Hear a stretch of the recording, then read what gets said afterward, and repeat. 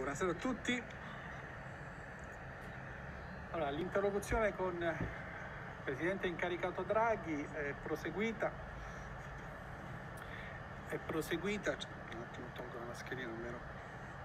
per la dichiarazione, è proseguita e abbiamo ascoltato dal, dal Presidente incaricato le idee base di programma, le riforme, eh, gli ambiti entro il quale intende eh, esercitare l'azione di governo. Non starò ad elencare, visto che i colleghi che mi hanno preceduto hanno fatto un'elencazione di tutte le, le proposte, ma cercherò di focalizzare su quelli che per noi erano i punti salienti, le questioni che avevamo posto come fondamentali, come punti di partenza, come cornice in cui eh, esercitare questa azione di governo. Abbiamo trovato, devo dire, nelle proposte messe in campo dal Presidente incaricato una, una serie di, mh, mm, di, di spunti sulle cose che avevamo già anticipato nelle precedenti consultazioni. Ma la cosa che più, la più importante, quella a cui tenevamo di più,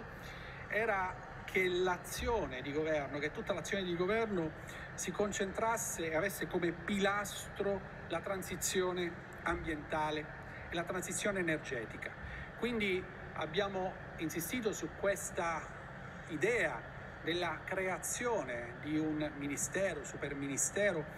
che coordini tutta l'attività riguardo alla transizione energetica, le infrastrutture, i trasporti, tutti gli investimenti che siano tutti indirizzati in politiche che mettano l'ambiente come eh, filtro attraverso cui esercitare tutta l'attività di governo. Abbiamo avuto rassicurazioni che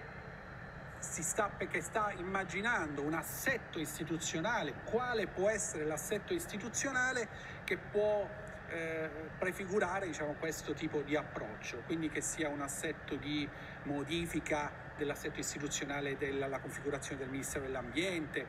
un accorpamento o un coordinamento di altro tipo. Insomma, questo è un lavoro ovviamente eh, che ha preso in considerazione ci ha anche raccontato che è andato a verificare come l'esperienza francese da cui è stato preso spunto, eh, che ha appunto messo sotto un unico ministero le tre aree, quindi infrastrutture, trasporti, energia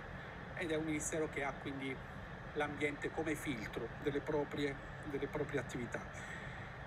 Sul reddito di cittadinanza abbiamo ribadito l'importanza e abbiamo avuto la rassicurazione che oggi più che mai è necessario rafforzare le misure di sostegno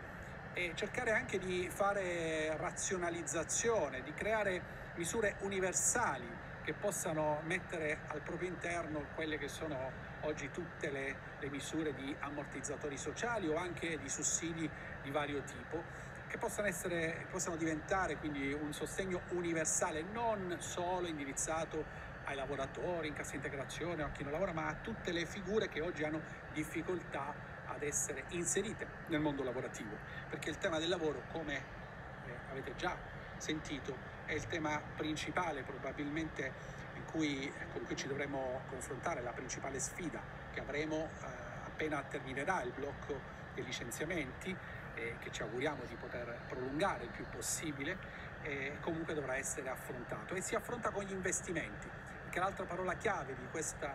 ipotesi di governo è quella degli investimenti, investimenti che devono partire dal PNRR, cioè il piano, il recovery plan che al suo interno contiene gli investimenti necessari, gli investimenti necessari per rilanciare questo Paese.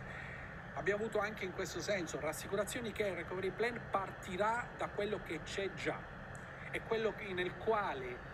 grazie al lavoro del precedente governo si è ottenuto che dai 700 milioni iniziali siano stati stanziati 3 miliardi per la giustizia, quanto fatto dal ministro Bonafede, o che siano arrivati quasi 40 miliardi appunto per il lavoro, o i soldi sulla scuola, sono tutte eh, misure che sono state messe in campo nel recovery plan grazie al lavoro del governo, del governo precedente, dei nostri ministri e che quindi è da lì che bisogna partire. Quindi eh, nessuno stravolgimento come qualcuno magari avrebbe voglia di fare, ma è da lì che si parte. Ecco, questi sono gli elementi chiave che oggi vi vogliamo appunto raccontare, quali,